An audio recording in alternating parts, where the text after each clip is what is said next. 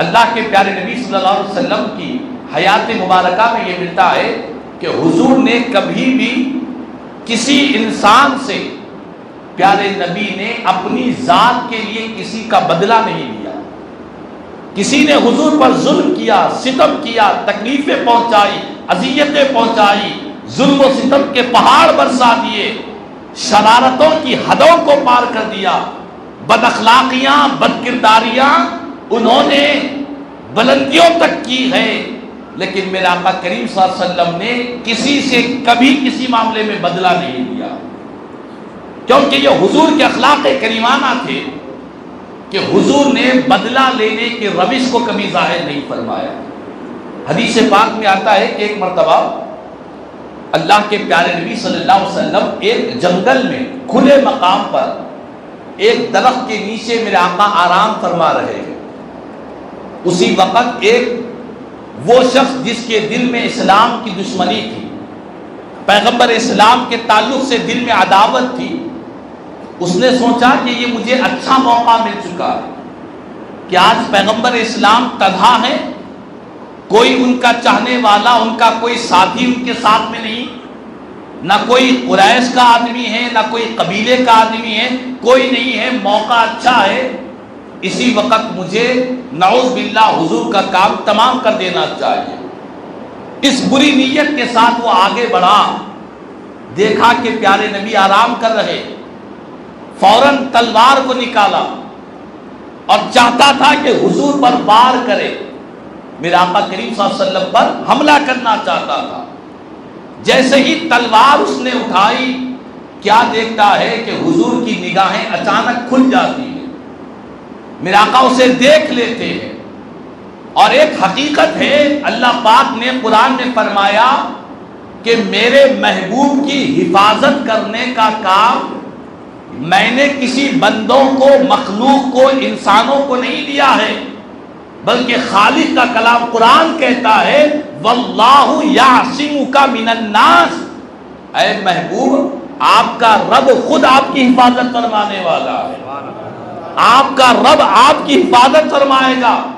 कुरान की हिफाजत अल्लाह के जिम्मे है, कियामत तक कुरान का एक हर्फ के अंदर तब्दीली नहीं आ सकती। इसी तरह अल्लाह ने साहिब कुरान की हिफाजत की ज़िम्मेदारी अपनी ली है। तो उसने ये ख्याल किया कि मैं हमला करूँगा, लेकिन हुजूर की निगाह खुल गई। जैसे ही प्यारे नबी के चेहरे मुबारक को देखा, उसने कहा कि अय मोहम्मद सल्लल्लाहु अलैहि वसल्लम अब आप मुझे बतलाएँ कि इस घने जंगल में जहाँ कोई इंसान, कोई दोस्त, कोई पड़ोस, कोई रिश्तेदार नहीं है, आपको मुझसे कौन बचाएगा? कौन आपको बचाएगा? मेरा आका करीम वसल्लम ने एक ही कलीमा फरमाया और इस शान के साथ फरमाया कि हुजूर ने फरमाया, अल्लाह मेरी हिफाजत करने वाला अल्लाह है। बस अल्लाह का ये जुमला हुजूर की ज़ुबान मुबारक से निकलना क्या था? उस शख्स के जिसम पर कपकपी तारी हो गई। उसका जिसम लरसने लगा। और लरसने की वजह से उसकी जो तलवार थी वो ज़मीन पर गिर गई। जैसे ही तलवार ज़मीन पर गिरी मेरे आका ने उस तलवार को हाथ में उठा लिया। उससे फरमाया कि, अब तू बतला कि तुझे मुझसे कौन बचाने वाला है? अब तुझे कौन बचाएगा? उसने कहा कि मोहम्मद वसल्लम, मुझे आपसे रहमो करम की उम्मीद है? मुझे आपसे हम माफ़ करने की उम्मीद है? अपने तो अपने हैं, गैर भी हुजूर को रहमो करम के साथ याद करते थे दोस्त तो दोस्त है, साहबा तो साहबा है दुश्मनान इस्लाम भी हुजूर के साथ ये उम्मीद रखते थे ये गवाही देते थे कि मोहम्मद वसल्लम, मुझे उम्मीद है कि आप उस पर मेहरबानी करेंगे, मुझ पर रहम फरमाएँगे, मुझे माफ़ कर देंगे। बस मुझे आपसे रहम करम की उम्मीद है। मेरा आका ने फरमाया कि जब तू मुझसे मेहरबानी की, माफ़ करने की उम्मीद रखता है तो मैं तुझे माफ़ भी कर देता हूँ। हुजूर ने माफ़ किया। और प्यारे नबी की माफ़ करने की बरकत ये हुई, वो शख्स उसी लम्हा दामन इस्लाम में दाखिल हो गया।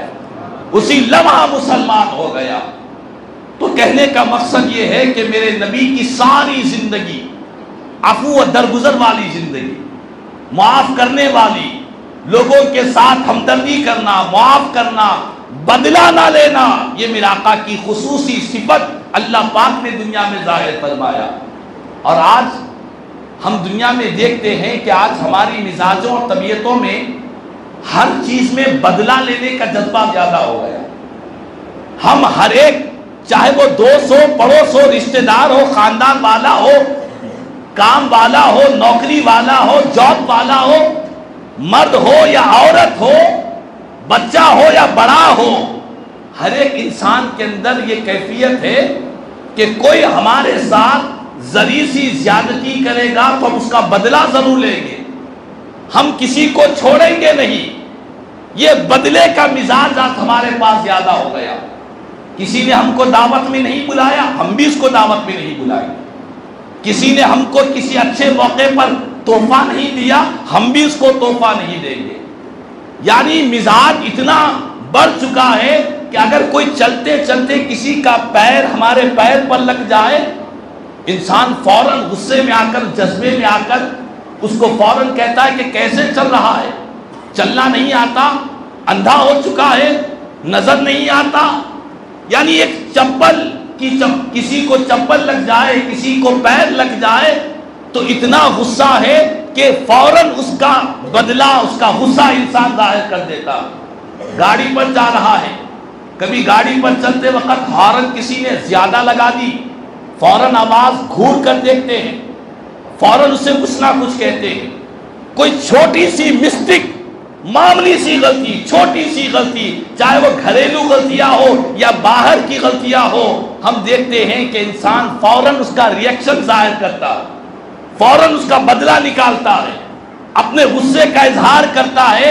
माफ़ करना, दरगुजर करना इग्नोर करना, ये आज हमारी मिजाज के अंदर से खत्म होता चला जा रहा है। लेकिन याद रख ले, अल्लाह के प्यारे नबी सल्लल्लाहु अलैहि वसल्लम ने फरमाया, हदीस बाग के हुजूर फरमाते हैं, तुम लोगों को माफ़ करने वाले बनो, अल्लाह तुम्हारे गुनाहों को माफ़ फरमा देगा। हुजूर फरमाते हैं, जो खुदा के बंदों पर रहम नहीं करता, अल्लाह पाक उस पर भी रहम नहीं फरमाता। जो जैसा दुनिया में खुदा के बंदों के साथ बर्ताव करेगा कल कियामत के दिन उसके साथ भी वैसा ही मामला होगा। आज हम लोगों की छोटी छोटी गलतियों को मिस्टेक्स को वीक पॉइंट्स को, लोगों की मामूली मामूली खताओं को हम ढूंढते हैं, तलाश करते हैं ऐबों के पीछे पड़ जाते हैं कि फुला क्या कर रहा है। किसी का ऐब ज़ाहिर हो गया तो सारे खानदान वाले एक दूसरे को फ़ोन करते हैं कि भाई, मुझे मालूम हुआ कि फुला घर में ऐसा हुआ। तुम्हें क्या पता चला? वो कहता है कि मैंने इतना सुना है। यानी एक इंसान दूसरे इंसान की बुराइयों को ऐबों को सुनकर एक दूसरे से लज्जतें महसूस कर रहे हैं। एक दूसरे से इंटरटेनमेंट हो रहे हैं। ये इस्लाम का मिजाज नहीं है। ये रसूल रहमत का मिजाज नहीं है। मेरे आका करीम वसल्लम ने फरमाया कि अगर किसी के ऐब को देखो, उसके ऐबों पर पर्दे डालो, अर्श वाला रब तुम्हारे ऐबों पर पर्दे डाल देगा। आज हम दूसरों की छोटी छोटी गलतियों पर रोक टोक करते हैं। घर में मामूली सी बात हो गई, छोटी सी बात हो गई, घर में किसी से छोटी सी गलती हो गई, उस गलती को हम पहाड़ बनाकर पेश करते हैं कि तुमने ऐसा क्यों किया, ऐसा नहीं करना था। घरों के अंदर का सुकून बर्बाद हो गया। घरों में राहतें नहीं रही, खानदानों के अंदर सुकून ना रहा, रिश्तेदारों में मोहब्बतें खत्म हो रही हैं। उसकी वजह यही है कि हम रसूल पाक सलाम के जो अखलाक करीमाना थे कि लोगों को माफ़ करना, दरगुजर करना, जो जुल्म करे, जुल्म का बदला, जुल्म से ना देना मेहरबानी करना, शफकत करना, ये मिजाज, ये तबीयत, ये कैफियत जो रसूल करीम वसल्लम ने हमको दी है, आज वो कैफियत हमारे अंदर से चली जा रही है। हम मामली मामली बातों पर झगड़ रहे हैं, इख्तलाफ कर रहे हैं, लड़ाई झगड़े कर रहे हैं। हदीस पाक में आता है कि अल्लाह के प्यारे नबी वसल्लम के साहबजादी जिनका नाम है, हज़रत जैनब रज़ी अल्लाह मक्के से मदीने को हिजरत फरमाने के लिए आप मक्के से रवाना हुई मुशरकी ने मक्का को मालूम हुआ तो उन्होंने सोचा कि हज़रत जैनब को तकलीफ़ देंगे। एक शख्स हज़रत जैनब रज़ी अल्लाह तला को रोकने के लिए मक्के से रवाना होता है, मदीने के करीब एक मकाम पर हज़रत जैनब को पाता है। हज़रत जैनब रज़ी अल्लाह तला उस वक़्त एक सवारी पर सवार थी।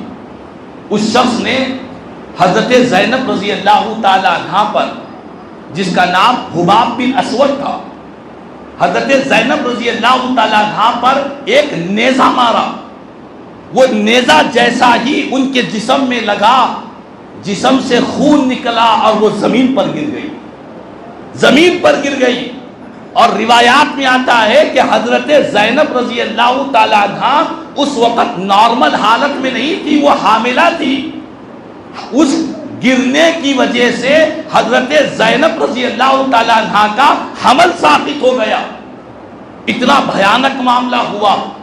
इसकी कबर मदीने में नबियों के सुल्तान इमाम रहमतुल्लाम को इस बात की खबर दी गई। मेरे आका ने उस जुल्म का बदला जुल्म से नहीं लिया। चाहते तो मेरे आका, हज़रत जैनब के जो वालिद वो हस्ती है जिनके इशारे से डूबा हुआ सूरज पलट कर आ जाए, जिनके इशारे से चाँद के दो टुकड़े हो जाए। वो चाहे तो अर्श वाले रब आसमान से आज़ाद को नाजिल कर दे। लेकिन मेरे आका करीम वसल्लम, इतना पावर रखने के बाद, इतना इख्तियार रखने के बाद इतना पावर इतना इख्तियार रखने के बावजूद भी मेरे आका ने उनसे बदला नहीं लिया। बल्कि जब फतेह मक्का हुआ, हुबाब बिन असवद आए तो लोगों ने कहा कि या रसूल वसल्लम, आज फतेह मक्का में अल्लाह ने मुसलमानों को कामयाबी दी। अब हुबाब बिन असवद आए हैं, जिन्होंने आपकी लाडली, आपकी शहजादी हज़रत जैनब के साथ ऐसा मामला किया था। मेरा आका करीम की बारगाह में हुबाब बिन असवद आए तो मेरे आका ने हुबाब बिन असवद से कोई बदला नहीं लिया। ना ज़ुबान से कहा, ना ज़ुबान से बदला लिया, ना कोई हथियार से बदला लिया, बल्कि मेरा आका करीम वसल्लम ने हुबाब बिन असवद को कहा कि क्या हुबाब, क्या चाहते हो? तो हुबाब बिन असवद ने कहा कि, हुजूर, इसीलिए आया हूँ कि आपका कलीमा पढ़कर इस्लाम के दामन में दाखिल हो जाओ। मुसलमान होने के लिए आया हूँ। मेरा आका करीम वसल्लम ने मुसलमान कलीमा पढ़ाकर उनको दायर इस्लाम में दाखिल किया। तो देख ले, हुजूर की ज़िंदगी, प्यारे नबी की सीरत, हुजूर के अखलाक, किरदार हमें किस बात का पैगाम दे रहे हैं? मेरा आका की सीरत पैगाम दे रही है कि खुदा के बंदो, तुम बदला लेने वाले ना बनो। तुम बदला लेने वाले बनोगे तो तुमसे पहले दुनिया में हज़ारों, लाखों, करोड़ों लोग आए, जिनमें कोई बदला लेने वाला था, लेकिन आज वो अपनी कब्रों में सो रहे हैं। लिहाजा नेक नामी के साथ, मेहरबानी के साथ, शफकत के साथ, मोहब्बतों के साथ अगर तुम ज़िंदगी गुजारोगे तो अल्लाह पाक भी तुम्हारे साथ मेहरबानी फरमाएगा।